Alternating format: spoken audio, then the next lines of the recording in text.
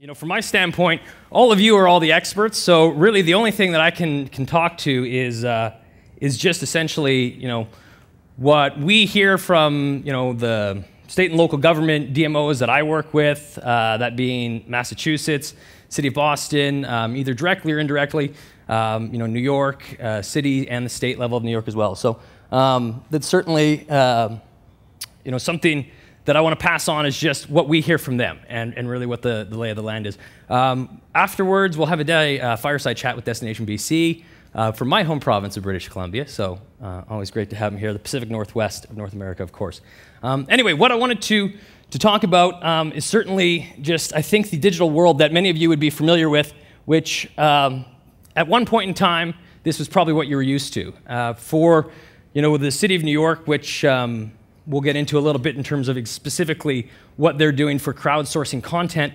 This was their reality up until about the past year or so, where they were used to their customers, um, visitors coming to them. And that was either through email, predominantly through the website, um, and really, that was what the content was that was out there, was mainly coming from New York, putting out there for visitors that were actively seeking information all the time. Of course, New York being a, a coveted destination, they were getting a lot of walk up traffic. But where the world has sort of changed, and I think many of us probably are realizing this or seeing this, or many of you, uh, is that now the majority of the content that's out there is actually from your visitors. And I think that's no surprise to anybody, of course, where it's now incumbent upon the DMO to try and figure out what do we do with that content that holds a lot of power to it, where you've got people sharing through pics and videos, and um, it really doesn't even matter what the social network is per se, because they'll constantly change and evolve. It's the fact is that what's out there in the digital world is content that's being created by your visitors, so how do you harness that to create the power? Where it's less about, you know, the website plays a less of a role in, in how you're connecting um, with those that you want to market to and those visitors that are coming there. So it's actively going out there and seeking and finding that content. So what the city of New York did, um, and we'll talk about with, with our destination British Columbia as well, pardon me, um, in the fireside chat, is really found out new ways to harness that content and share their stories in terms of how they harness that information and use that to um, promote and, and ultimately attract visitors. So with New York, I mean, what they did was they wanted to, they started with a simple objective. It was essentially everybody knows the city of New York, obviously, for the Empire State Building and Statue of Liberty and numerous other, you know, sort of mainstay tourist attractions. But for the city of New York, they started with the standpoint that how do we share the story of New York that New Yorkers know? And that was where they encouraged. And first off, realize that, okay, there's been a shift. And this was only something that happened over the past year, really. There's been a shift in the kind of content that's out there. It's no longer us pushing it out. We want to go and collect it, and we want to figure out the best way to collect it and best way to utilize it. So they started off with the objective of how do we share the New York that New Yorkers know? And then they went out there and they targeted by different SKUs or categories or niches in terms of you know, fashion, dining, um, you know, even regionally throughout the city. They wanted, you know, people to understand what, you know, the cool restaurant in Williamsburg was, or the Henry Hudson Bridge. These sorts of elements of New York that the average visitor is completely unaware of. So by targeting uh, specific influencers and um, you know people, bloggers, others that were driving active content within those categories that they chose, they went out there and targeted them and incentivized them. Pardon me, with the idea that well, we can probably help you out in terms of um, giving you backstage access. Um, you know, if you've got a blog, we'll give you backstage access to, you know, Madison Square Garden uh, at some point in time, Empire State Building. They incentivized them with rewards that were relatively cost effective because they had access to it um, but was something that obviously attracted to bloggers because it allowed them to create more content. So in doing so, they had a stable base and a network, a community of people that were now actively sharing content that could be repurposed by NYC and Company, which is the DMO for the city of New York, um, and getting them out there and, uh, and sharing that content, driving your city, which now started to create a whole new New York for those that were visiting there. Um, Destination British Columbia, who we'll bring up here very shortly. Um, many of you may be familiar with the story that Leah Poulton um, had shared last year from Destination British Columbia. Uh, so we'll certainly talk about um, over the past year what's happened with that. But ultimately, you know, their key objectives in terms of uh, targeting individuals and having individual conversations and what that meant as far as driving meaningful relationships and looking at that and building on that. And really how uh, over the past year social has become you know a core part um, in addition to all the other services that they you know um, provide or other marketing attempts that they have um, social is a core part of that and then supported by other traditional means in terms of traditional advertising and such and really look at you know what the um, relationship means that they've developed with uh, individuals and how they've managed to spread that en masse so um, i'd like to bring up uh, if we can maybe organize a couple of chairs, uh, Leah Poulton and Julia Crawford from Destination British Columbia, which is the DMO for the province of BC.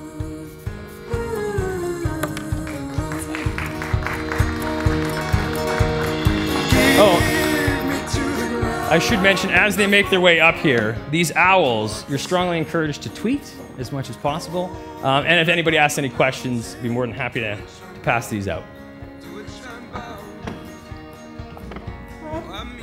Thank you both for joining. Um, so maybe we could just start with, I guess, uh, I kind of got into it a little bit there, but sharing, you know, where things are at right now with Destination British Columbia, um, where you've been, and, and, I guess where your vision is for the future.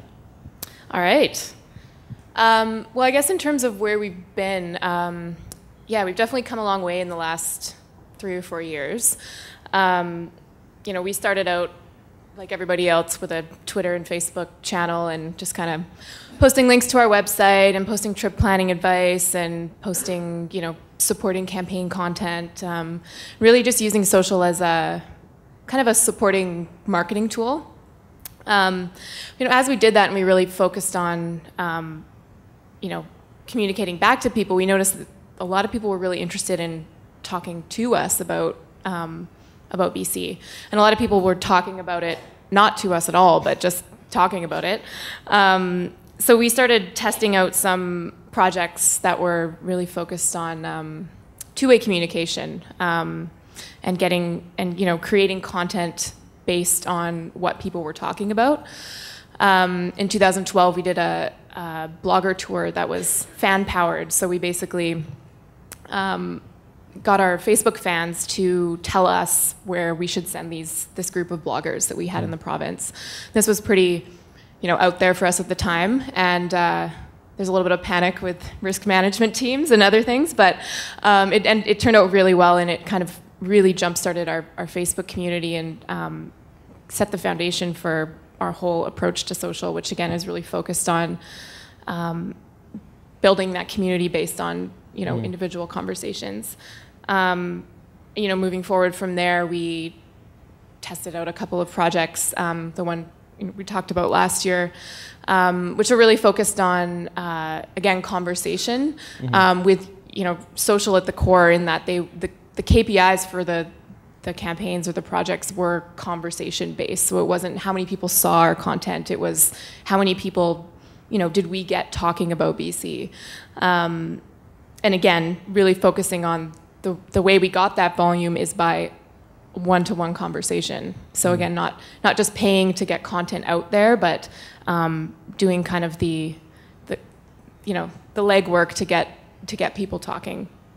Um, you know, in the last year, we've really um, come a long way in terms of um, we're almost at the point where social is really touching almost everything our organization does.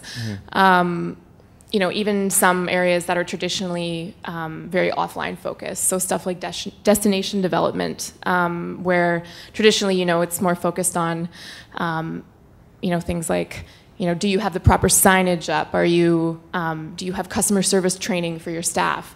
Um, and we've really transitioned towards, uh, you know, the core question is, are you creating shareable experiences? So that's a, kind of a big shift too. Um, and then all the, you know, the training that comes along with that. Um, and then visitor servicing as well. So, you know, traditionally visitor servicing and marketing are, are uh, you know, separate, um, but they've kind of become so intertwined that because the customer journey is they're checking in on social all the time, mm-hmm. you can't really separate, you know, the person from when you're trying to get them to come to when they're actually here it's really part of one big cycle. So it, you kind of have to integrate those two disciplines, and that's kind of where we've gone. Um, yeah, one of our big corporate objectives is creating um, uh, a, a, powerful marketing um, network for the province. Mm-hmm. So it's not so much about us. Again, it's about how can we empower our partners, how can we get all of us aligned, and so we're all really um, effectively, you know, touching in with the visitor at all of these different points. So it's not just about marketing anymore. It's it's really, you know, like um, like was mentioned yesterday. It's it's about social business now. It's it's touching every almost everything that we do. Hmm. Yeah, and I'll just add to that that you know as our strategy has evolved, so have our roles. Um, I think our team right now acts a little bit like an internal agency that sort of supports all other aspects of our organization. You know, some more traditional kind of offline areas like in um, destination development. And you know, for us, social is no longer a separate strategy, but it's, you know, as Leah mentioned, really creating this sort of seamless experience for the visitor that's both offline and online. Hmm, okay. How has, uh, I guess, social evolved during that process? Um, well, I think in terms of like social, how it's evolved to kind of meet the needs of the consumer, we're definitely moving away from being content creators into really just being social listener and distributors. So we're not only just using social listening to find and engage with these visitors online, but we're really um, you know, creating content based on the needs of that consumer. Um, one example of this that we've done is we've had five of our largest visitor centers around the province um, who at one time were doing their own social media marketing, and we realized that just didn't make any sense as a model for us. So what we wanted to do was still to use their kind of local BC knowledge, and we got them to submit their topmost, you know, five asked questions at the visitor center that month, and we had them create a blog post for us based on that question. So if you can imagine, you know, for every one person that walks into a visitor center that has a question about, you know, the top attractions to do in that location or where the best places are to birdwatch, you know, there's probably 20 more people who are actually Googling that same question. Um, you know, and as Leah kind of alluded to earlier, you know, one of our core Facebook strategies has always been to really kind of tap, tap into our very local and passionate and engaged community. So we um, wanted to crowdsource information based on these, you know, BC advocates, and we ask our community almost every week or almost every month, you know, different questions about, you know, maybe where the top photography spots are in Vancouver, and it's a whole range of themes. But essentially, we're crowdsourcing this information, and then we can create a blog post based on that that we then push back on all of our channels. And we can target to some of our you know visitors in our key markets. So just about kind of this local authentic perspective it's not us as destination bc telling them what they should do but rather our you know bc residents and our fans and our advocates mm-hmm. and we've got some i guess some of the numbers there in terms of um, success that you've seen since the start of social and that sort of thing and it sounds like what you're describing, I mean, you're creating a network of people that are out there. It's not just visitors or customers, it's a network of, of a community that you have that's out there as well. I mean, have you had specific challenges, um, or I guess what are some of the specific challenges that you've had in creating that network? Yeah, well, I think, um, I mean, these, these stats are just from our Twitter channel, which is one um, uh, channel we had a very you know, clear strategic shift on, especially after the learnings from last summer's campaign. Um, and you can see kind of in the top where we started focusing on um, one-to-one outreach. So the volume of tweets went up significantly, but so did the engagement. Um, and again, these aren't necessarily all people retweeting our content. It's more um, one-to-one engagements.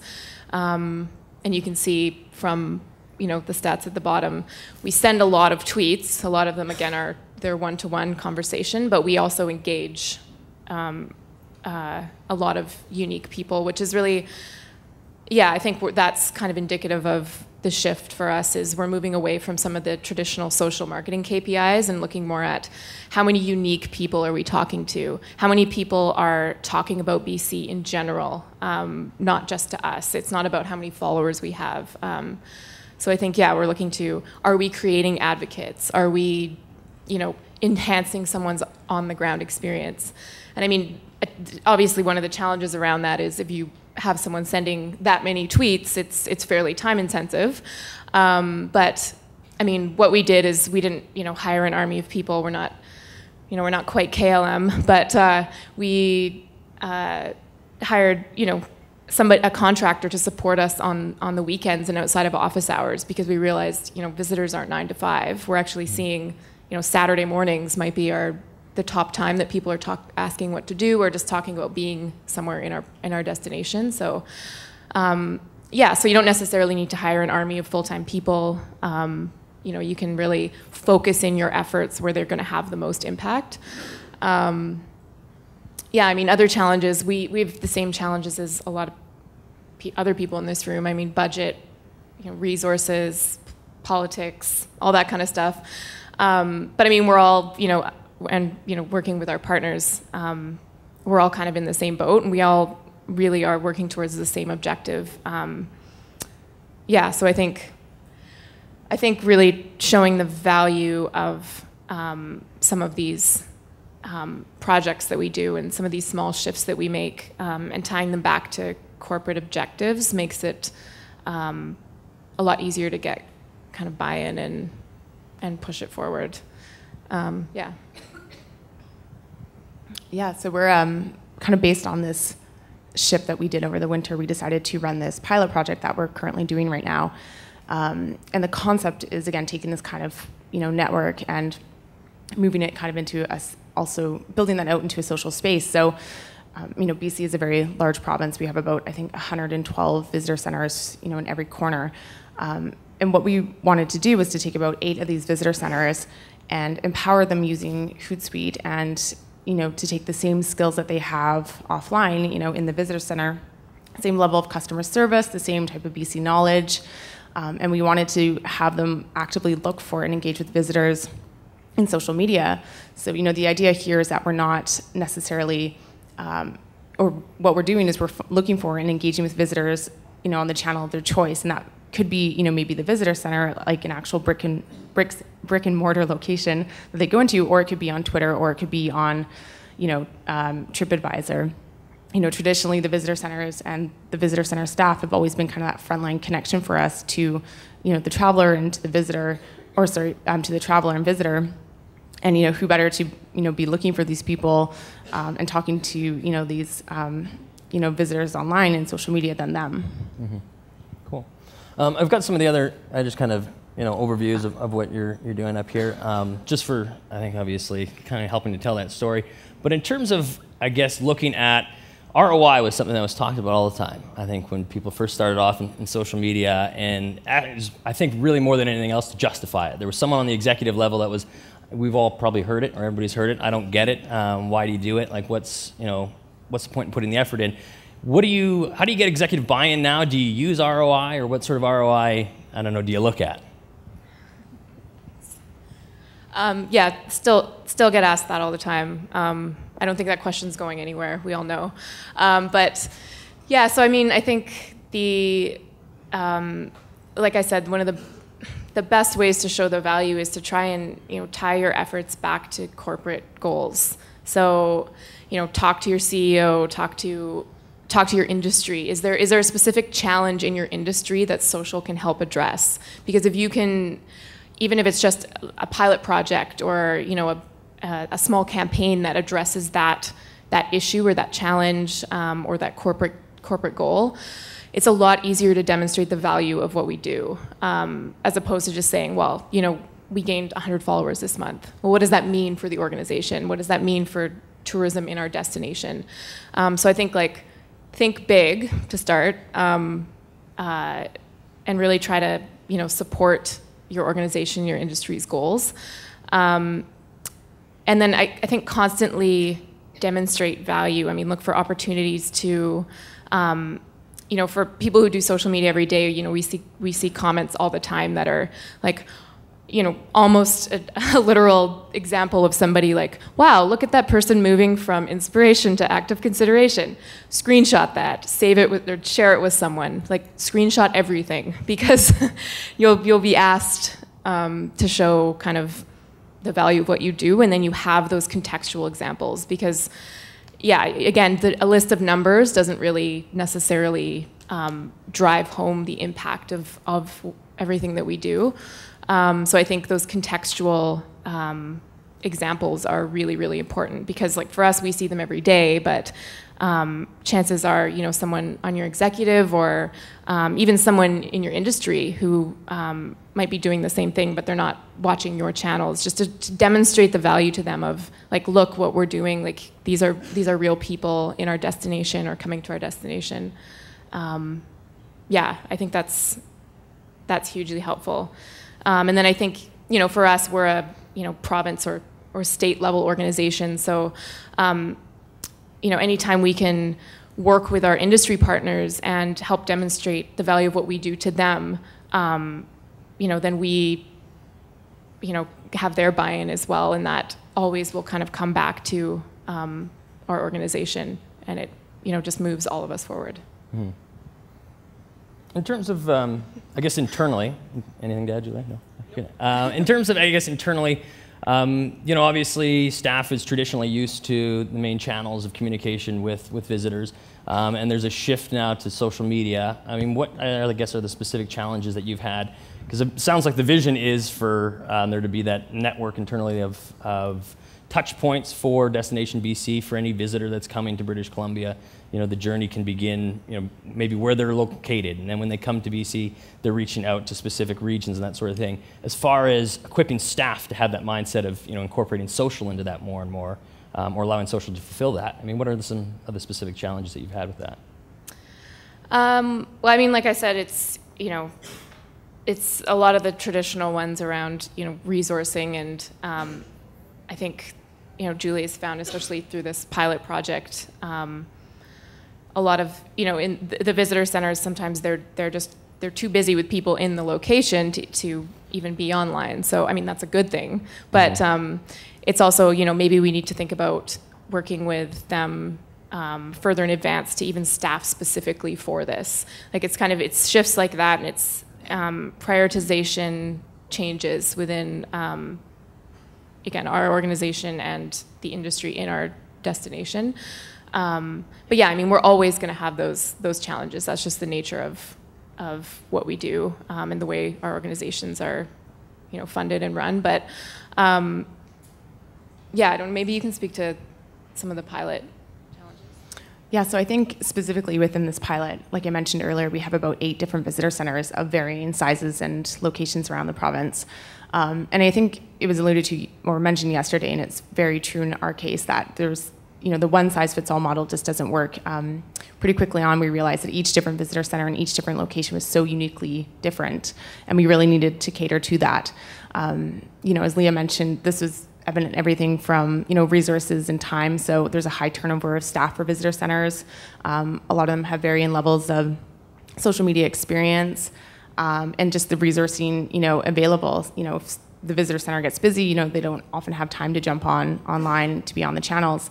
Um, and the same can be said for us as well too. You know, is we really want them to buy in and be really engaged with this pilot and kind of our vision for this network. We need to be available to have the time and support, you know, to offer up to them um, you know, everything, you know, um, there was the volume of conversations even, you know, varied drastically. So we have, as one of the pilot um, participants, a small kind of northern community along the Alaska Highway to Vancouver, which is largely considered the gateway to the province. So in Vancouver's case, you know, their problem is just managing and filtering the flow of conversations is just almost too much. And, you know, with some of the smaller pilot participants, we're really focusing on them being the kind of you know, regional rep or almost a spokesperson for their um, their whole kind of entire area. It's not just about them talking about their one location or or destination, but it's them, you know, welcoming visitors to the area and to BC in general. Um, another kind of challenge that we saw within the pilot was also just the kind of team buy-in. So traditionally, the social media has always, you know, been or owned by the marketing teams, and what we were asking of the pilot group is to have the visitor centers be a part of those channels and to be, you know, um, a part of that team. So we really wanted to get buy-in from both the marketing and the visitor center teams and have everyone be involved in the process from day one. Hmm. And as far as I guess, um, you know, having such diverse staff, you know, throughout the province. How does that work with training? I guess with you know, each one's going to be a little bit different. I would suspect. How is training? How does that? I don't know. How is that fulfilled? Yeah, I mean, again, in the pilot project, um, you know, we started out with doing kind of an initial kind of group training session. We we saw a, lower engagement than we had um, hoped for. And so we kind of realized we needed to move to a one-on-one, individualized, very customized approach. And again, this goes back to, you know, the one-size-fits-all model just really doesn't work. Um, you know, the searches were different, the questions were different, you know, the staff who were, you know, working in the pilot had, you know, varying levels of experience. So we just kind of wanted to take this very customized, you know, individualized approach. Um, and as we mentioned, you know, we really want everybody involved in the pilot to be engaged. So um, you know, the training just didn't stop there. We do ongoing weekly check-in calls, which are everything from 10 to 20 minutes, and it's just, you know, um, an opportunity for the teams to provide any feedback or insights for us to solve any real-time challenges and to kind of um, keep that sense of accountability for everybody in the pilot and also the level of enthusiasm engagement up. Um, and we also did kind of weekly uh, check-in emails as well too, which I think we have a slide that will show um, one of them coming up here. Uh, and what it is, it's just an opportunity for us to kind of um, send out kind of a, a, group email to you know the larger teams to kind of again foster that sense of accountability and enthusiasm. And you know we provide kudos. We'll you know give a couple shout outs to a couple different teams who had great conversations that week, and um, we'll offer up any tips that we saw based on you know any issues or challenges throughout that week. Um, and we also kind of created a welcome kit, which is like a formalized approach, I guess, to the pilot, and it had a daily checklist and it had a workflow that they can go through, a best practices guide for visitor servicing, um, and had a map of all the different pilot participants. And this here are these visitor cards that we created and what these are are just actual kind of business cards that the visitor center counselors who are doing the outreach can hand to visitors when they come into the actual centers. And you know, we wanted to kind of create that sense of ownership in the pilot and also that sense of pride. So um, you know, you can see here that anybody who hands the card out can actually have an opportunity to sign their name and be that person who you know is online as well. Um, yeah, I think just in general again, because we're a, a province level organization, um, and we're, we're, we're lucky that a lot, a lot of our partners already are fairly social media savvy, so we're not necessarily coming in and, you know, teaching people how to tweet. It's more taking on this role of facilitating this network. So we might be providing access to enterprise level tools. It might be um, providing, a, you know, a forum for our different partners to connect around social media. Um, and this pilot project's a good example of, of us kind of taking that more, like, we're definitely training um, people, but it's more, um, like, it's, yeah, it's more of a facilitator role. And mm-hmm. we're kind of, um, yeah, taking a leadership role in creating this network, I guess, is, is the real, the real goal. Yeah. Is there a lot of learning from one another in that sort of process? Oh, yeah, for sure. I mean, yeah, we're, the more we work directly with um, you know the staff on the ground and our partners, we the more we learn about kind of the visitor and how they operate, and it makes us a better partner for them. So I think it's yeah, it's definitely both ways. It's a lot of insight. Okay. And on the topic of learning, I guess what would you say are some of the um, you know the big moments that you've learned? You obviously started this um, pilot project, you know, last summer. You know, you talked about over the past year, and I guess maybe with the evolution of social overall in the organization, I guess what are some of the things that you'd pass on in terms of what you've learned from the experience?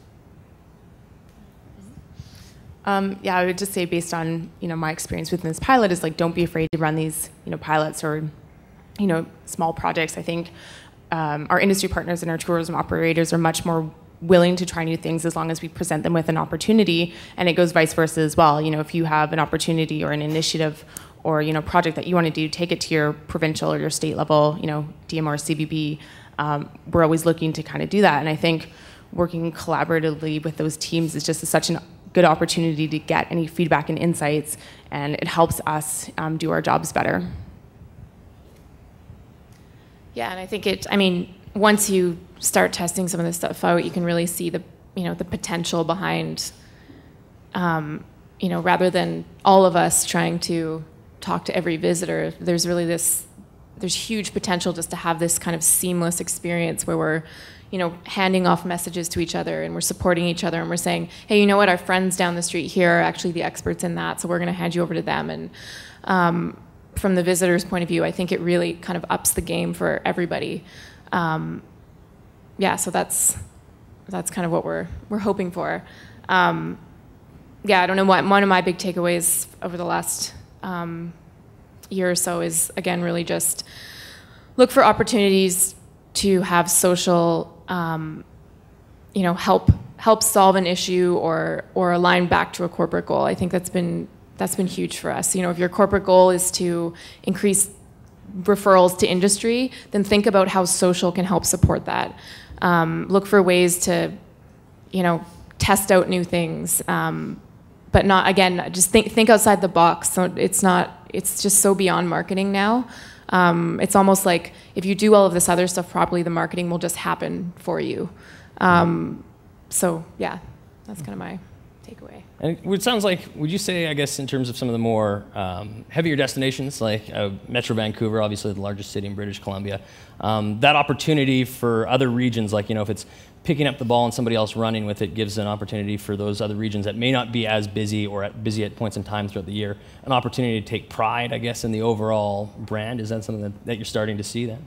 Yeah, yeah, definitely, and that's a that's a huge goal of this of this pilot is to really create this sense of you know you're not just a representative of your community you're a representative of the province we all are and we're you know don't be afraid to jump in and welcome someone um, who lands in vancouver i mean that, how cool is that for the visitor right um, yeah and i think yeah looking like just it's really thinking you know for visitor centers thinking outside the brick and mortar walls thinking outside your community walls like just really um, expanding kind of the uh, yeah, I guess expanding, thinking big, I think is really the um, the goal. And I think yeah, we're definitely seeing that start to happen. Um, I mean, there's one visitor center in particular I'm thinking of that uh, they actually, um, you know, for them their their visitor uh, their visitation to their bricks and mortar location was was down significantly. So they actually made the decision to to close it. And they now have a mobile visitor center, and they set up in coffee shops around the community, mm. and they have someone who does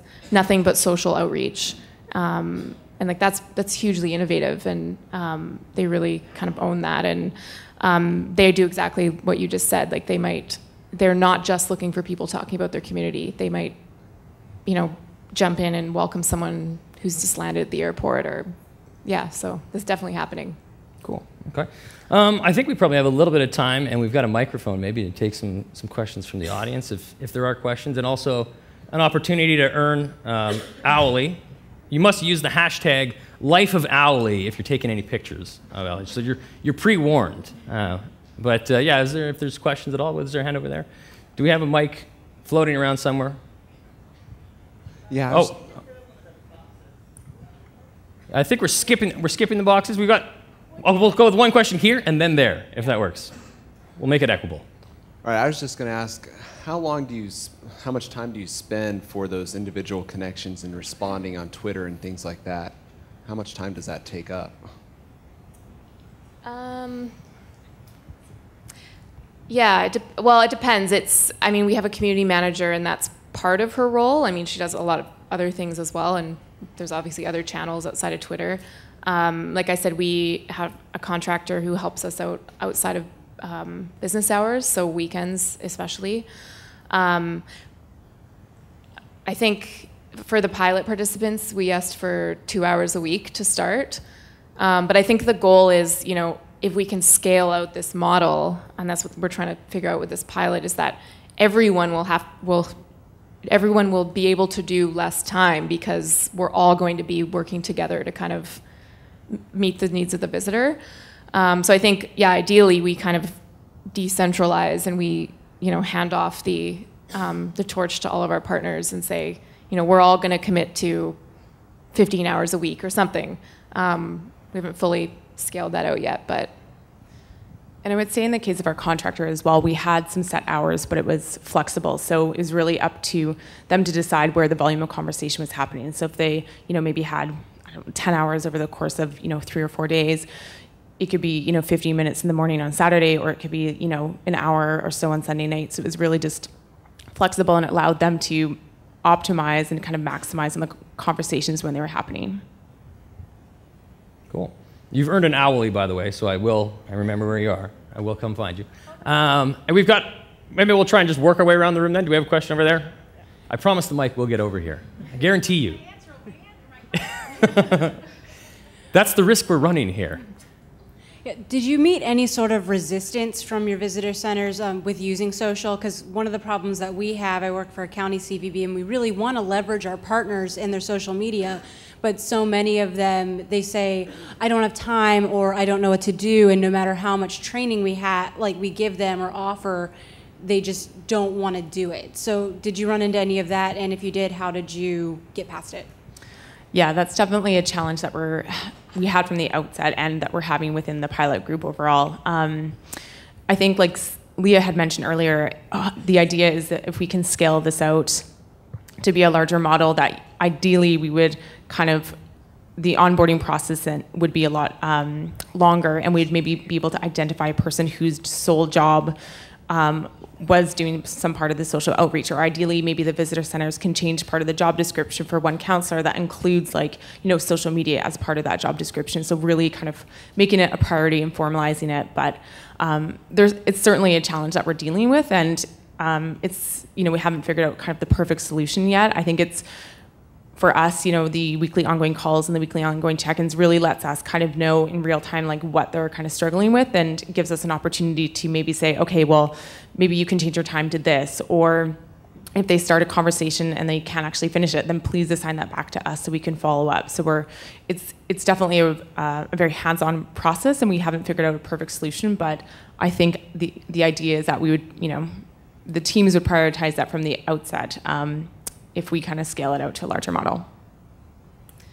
Yeah, and I think in, in, general, with, I mean, this is kind of true for any initiative or any new change that you're trying to initiate.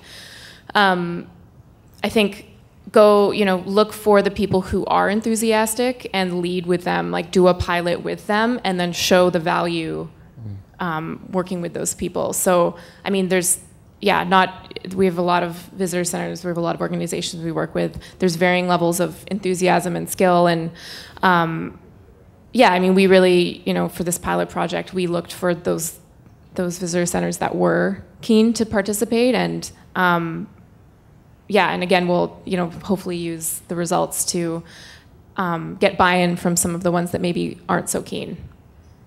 Cool. Um, do we have another question? Okay we've got this one. It, um, it, wasn't answered already. Then I it, it, it, was somewhat answered. I just want to make sure for clarification. Okay, First, reiteration's always yeah, good. First of all, uh, kudos for thinking outside the box um, and being able to, yeah, really use the province and uh, um, the. Uh, I'll jump to the question. Do you have a social media manager that's watching it throughout? Like, how do you determine which VIC is picking? Like, are you using the Hootsuite platform to be able to assign different tweets, or how are you? Yeah, yeah, we're using um, yeah the enter enterprise version of Hootsuite. So we basically have invited these um, organizations into our Hootsuite organization, which allows us all to assign messages between us. Um, it also gives you really interesting um, team analytics, so we can actually see um, you know response times for different teams. We can see volume. Um, nice. Um, volume of responses for different teams, so it allows us to kind of um, manage and have insights from the, the back end as well. Um, but yeah, that's, does that answer your question? Okay. Cool. Um, anyone else at all? Or is that a wrap? Over here. Oh. I just have a quick question, and you might have kind of touched on this, but um, we keep all of our social media in-house, and how you're talking about the contractor, you know, two hours during the week, that's an awesome idea. But do you have to sit down with them and kind of show them your voice, or is it like who's the contractor? You know, how do you find these people? Because our ad agency has talked about taking it over, but we really like to keep it in house because we feel that we're the expert on our city. And so I'm just curious to who these contractors are and if you have to train them. Yeah, no, definitely we're we're definitely on board with with keeping, you know, that kind of thing in house for sure. Um, yeah, I mean, we definitely do. There's definitely an onboarding process um, in terms of you know tone of voice, brand, all that kind of thing. Um, yeah, and I think again, the the the idea, the vision behind this whole this whole pilot and this whole network model is that we won't need contractors at some point because we'll have this whole network of of BC experts that have worked with us and. Um, yeah, I think that's that's kind of the end goal. But I mean, if if in the short term you're kind of seeing a need for for more support. I think that's a that's a good temporary solution. But yeah, definitely don't. I mean, if you can keep it in house, that's that's definitely the the preference. Okay, cool. All right. I don't have an Owly for you, but I will get you some other Hootsuite swag. Um, and if that's it for questions, I just want to thank both of you for sharing the story. I mean, it sounds like you're on an exciting journey. Obviously, it started, you know, sharing that story last year, and that, you know, hopefully that vision. I think it's very obviously bold, and uh, hopefully it succeeds. All the best with that. Thank All you. Right.